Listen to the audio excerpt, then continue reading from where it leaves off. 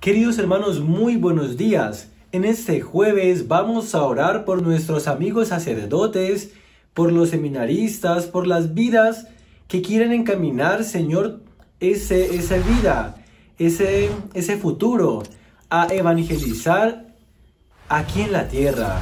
Iniciemos con mucha fe, queridos hermanos, en el nombre del Padre, y del Hijo y del Espíritu Santo. Amén. El Evangelio de este día nos dice, la mies es abundante y los obreros son pocos. Rogad al dueño de la mies que mande trabajadores. Por eso en esta mañana, Señor Jesús, queremos poner en tus manos el sacerdote de nuestra parroquia.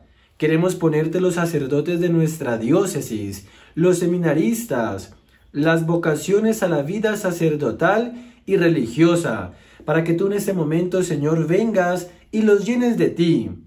También queremos pedirte en esta mañana que inicia que vengas a nuestras vidas, amado Jesús, que te quedes entre nosotros.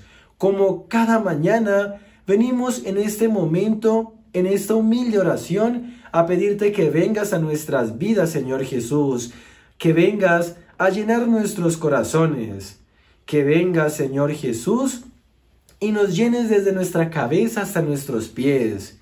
Dios de amor, te alabamos en este nuevo día. Nos acogemos a tu infinita misericordia. Nos acogemos a tu divina voluntad. No tengas en cuenta nuestros pecados, Señor, que son muchos. Con un corazón arrepentido, quiero pedirte perdón. Quiero decirte que hoy voy a buscar un momento para acercarme al sacerdote y buscar de ese sacramento de la reconciliación. Queremos abandonarnos en tus manos, Señor Jesús. Queremos abandonarnos a tu infinita misericordia en este día, para que nos hagas instrumentos de tu paz.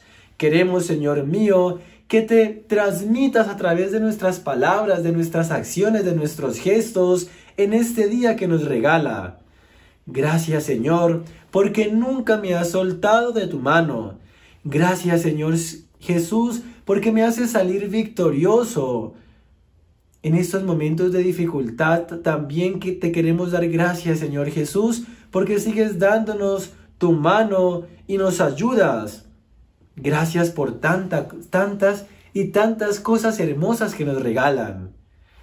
Gracias Señor Jesús también por este momento de oración que nos permites tener a través de las redes sociales, de este canal en el que cada día queremos estar más unidos a Cristo.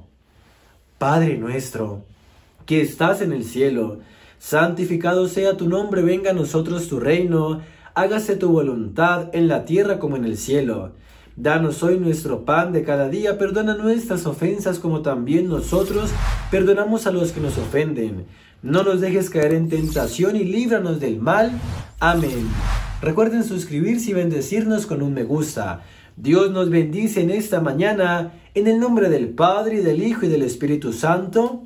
Amén. Recordemos cada día estar unidos a Cristo.